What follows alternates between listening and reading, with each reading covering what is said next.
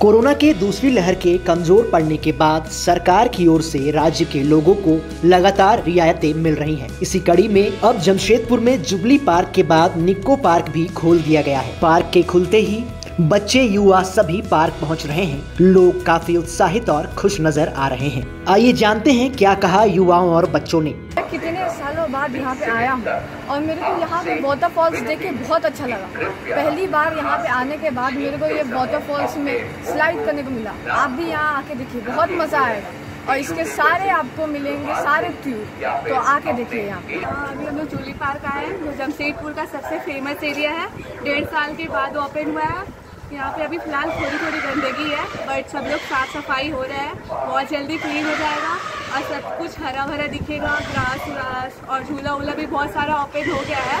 और भी चीज़ें जो ओपन नहीं हुई है वो भी धीरे धीरे हो जाएगी। और सारा क्लीन होने होगा ये रेस्टोरेंट देख सकते हैं। ये रेस्टोरेंट भी गंदा पड़ा है बट ये साफ़ हो रहा है साफ़ सफ़ाई चल रही है यहाँ की। यहाँ पे है।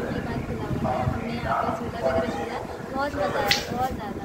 बहुत दिन के बाद ये सब अभी मिला। बहुत खुशी हुई बहुत दिनों बाद अच्छा लगा आके यहाँ पे बिकॉज़ बहुत दिनों से बंद था ऑफकोर्स सो अच्छा लग रहा है, हम लोग बर्थडे सेलिब्रेट कर रहे हैं बेसिकली और राइड्स भी झूल के बहुत अच्छा लगा। न्यूज़ अपडेट के लिए आप हमारे चैनल को सब्सक्राइब करें। आप हमें फेसबुक और इंस्टाग्राम पर भी फॉलो कर सकते हैं। बने रहे लगातार डॉट इन के साथ।